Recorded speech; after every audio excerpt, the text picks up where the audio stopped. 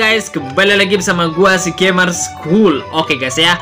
Dan kali ini gua akan melanjutkan gameplay Neverland Era guys ya. Oke, nah di gameplay Neverland Era ini di sini gua akan bahas buat kalian tips guide dari fitur FAE atau Dungeon FAE ya guys ya. Nah, buat kalian yang pengen tahu Dungeon FAE itu di mana, ini ada di Mon ya guys ya. Kalian langsung buka aja fiturnya ada di FAE itu kalian langsung klik aja di situ. Nanti kalian langsung ketemu dengan fitur FAE-nya. Nah, fitur FAE ini adalah fitur di mana menurut gue sih ini kayak uh, partner yang bisa bantu kita ketika kita melawan boss yaitu bos uh, drop item yaitu bos holy seal itu tuh bos yang lain. Ya guys ya ini bisa membantu kita guys ya oke? Okay? nah di sini gue bahas bahas sedikit buat fitur file ini buat kalian yang belum tahu ya guys ya ini gue akan bahas. Nah jadi di file ini ada grade nya juga ya atau grade skillnya. Ya Buat nyalakin cara naikin grade skillnya, kalian bisa lihat ya. Kalian harus kumpulin yang namanya itu startup coy. Jadi kalau kalian kumpulin startupnya, nanti otomatis si fa, uh, si karakter Fae ini ya dia itu akan naik coy ya. Akan naik dan nanti bintangnya akan full gitu ya. Dan otomatis grade ini pun bisa naik juga guys. Menurut gua bisa naik ya.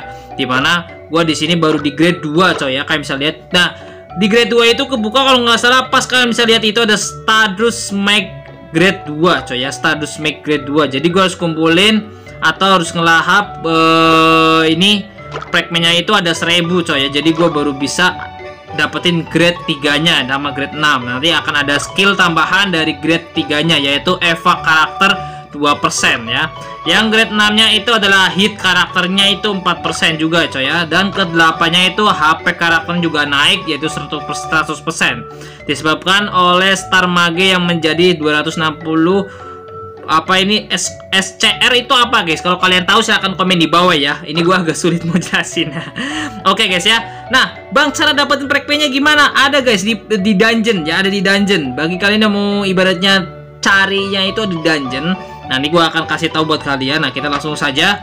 Nah, itu ada di sini ya. Bentar dulu, ini kita bosnya kita bu uh, buang dulu. Nah, kan misalnya itu ada dungeon, kan klik aja di situ ya. Terus kalian geser, guys. Kalian geser. Kalau nggak bisa digeser, tuh. Tuh geser ya. Ada tulisannya Fae barang. Soalnya di sini tuh nggak kelihatan pas kalian masuk ke dungeon, pasti kalian nggak kelihatan coy ya. Tapi kalau kalian digeser, nanti kalian akan kelihatan fitur Fae-nya. Kalian langsung masuk ke situ guys ya. Nah, ini dia fitur FAE atau fitur menurut gue sih ya sebut juga dungeon partner coy ya.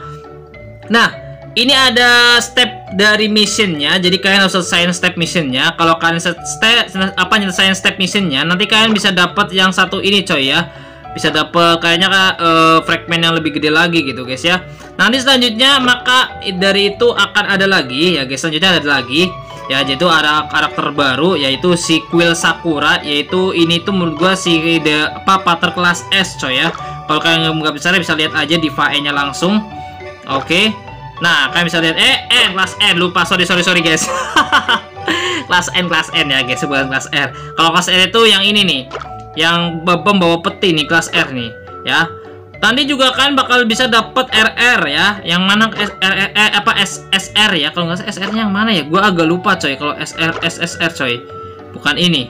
Lalu kayaknya gua agak lupa kalau buat SSR. Oh, ini mungkin. Oh, bukan, bukan, bukan. Oh, ini guys. Iya bener guys. Nanti kalian akan dapat ya Templar Shield. Nanti kalian juga akan dapat. Jadi kalian tinggal kumpulin ini fragment gratis. Itu ada di login kalau nggak salah di aula keuntungan. Terus kalian ada di hadiah ya, hadiah login ya. Login ini nggak ada coy di sini guys. Guys ya biasanya ada ya. Kalian bisa cek aja nanti setiap login itu kalian akan ada gambar fragment dari SSR dari FAE-nya langsung. Itu 30 coy. Jadi kalau kalian kumpulin sampai 1000 mungkin kalian bisa dapat coy ya. Banyak sih kalau kumpulin sampai 1000. Ya harus sabar banget guys ya. Oke, kalian mungkin belum tahu untuk fitur dari FAE-nya langsung ibaratnya dari uh, fiturnya langsung ya guys ya. Ibarat cara bertarung itu seperti apa dan gimana ya. Kalian bisa lihat itu ya guys ya ini masih ada tanda Cina ini masih belum kebaca coy dari server uh, dari servernya ya karena gue baru masih main gitu ibaratnya untuk dungeon yang satu ini mungkin kalau nanti bisa gue lawan nanti lebih enak lagi guys ya. Oh ya barangkali kalau pengen lebih cepat kalian bisa lihat itu ada sweep tinggi uh, sweep up ya, atau sweep dungeon langsung klik aja. Nanti biasanya kalian akan dapat gratis satu. Tapi kalau kalian nggak ada cuma kalian akan konsumsi diamond gemboknya yaitu 50 gembok ya diamond gembok ya. Nanti akan kalian akan dapat fragment 10 coy. Tuh kalian bisa itu dapat fragment 10 buat nambah ya guys ya. Lumayan coy ya. Itu buat nambah. Nah kita langsung saja masuk ya Nah, nanti kalau dapet star 3, gue dapat 5 fragment dari si siapa nih Fae tadi? Fae-nya namanya siapa? Gue lupa, guys. Oke, rekomendasi levelnya itu 215, CP-nya itu cuma berapa itu? Eh, 600 ribu ya, bisa bisa kita lawan ya.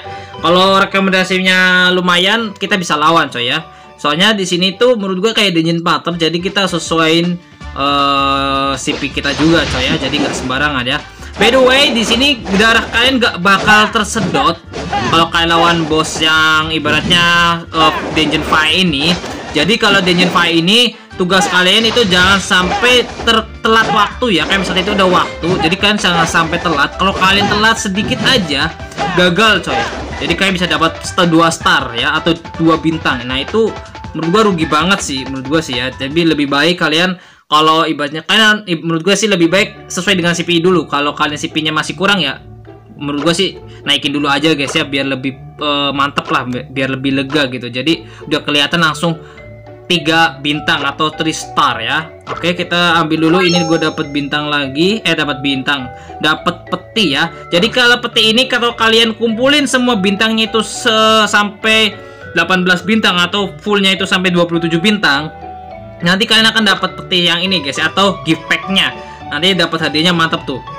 Kalian kumpulin sampai 27 bintang nanti kalian bisa dapat gift packnya yang langsung coy.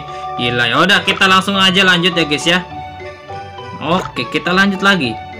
Masih lanjut guys karena gue di sini penasaran banget. Gue pengen naikin sampai ke grade 3 ya. Tadi kalian bisa lihat ya itu gue baru eh grade 3 apa? Grade berapa Kalau sekarang gue udah dapat grade grade 2 ya, grade 2. Ini mau naik ke grade 3 coy ya. Bentar lagi akan selesai juga sih. Sebenarnya gue mau main yang satu ini guys ya. Kalian juga pasti tahu ya guys ya. Kalau Dungeon 5 kalau ada yang belum tahu silakan coba aja coy ya. Kalian bisa dapat sini. Kalau dapat SSR satu lagi, kalau kalian di SSR itu bener-bener kayak sultan ya guys ya. Ada top upnya buat kalian beli gitu ya. Cuma kalau pengen hadiah gratis buat SSR-nya itu ada di hadiah login. Kalian cek aja di situ ada ya guys ya. Tapi kalian harus rajin-rajin login ya guys ya. Rajin-rajin login. Kalau kalian rajin login nanti kalian bisa dapet VAE karakter yang SSR coy. Oke? Okay? kita lanjut lagi guys ya. Kalian bisa lihat ya guys ya. Ini adalah yang terakhir ya tantangannya ya guys ya. Kita langsung lanjut aja. Nah kalian bisa lihat ini terakhir coy. Ini bintangnya gue tinggal berapa tiga lagi. Kalau gue selesai tiga ini nanti gue akan dapet uh, yang satu ini coy ya. Ini fitur baru biar gue bisa naikin ke grade lagi. Ya udah kita langsung datang aja guys ya. Oke. Okay.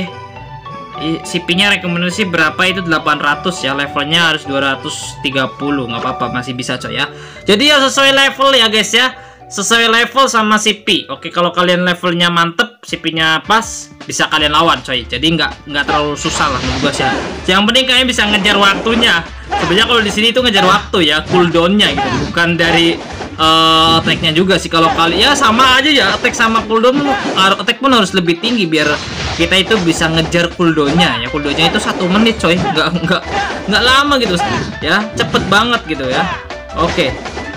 Ini mending nih. Menurut gua sih mending guys ya. Kalau yang sebelum-sebelumnya biasanya lebih sulit lagi kalau nanti untuk selanjutnya. Ini masih menurut gue sih masih mudah ya. Nggak terlalu sulit. Soalnya masih awal-awal banget. Nanti kalau udah naik ke SSR atau SR itu akan mungkin akan lebih sulit lagi guys ya. Bener-bener kayak kita itu digebleng banget gitu ya buat naikin level sama CP gitu ya. Pinter-pinter kita lah cara mengaturnya. Ya kan? Aduh bintang dua coy. Aduh mampus buah yo. Ya ampun guys. Gue dapat bintang dua coy Ya ampun. Gagal deh naiknya nanti. Ya. No, no, no. Kita coba pakai diamond ya buat skip. Bisa nggak? Oh, skip tidak cukup. Oh, sisa hari ini gue nggak bisa. Kan gue bisa konsumsi ini, coy.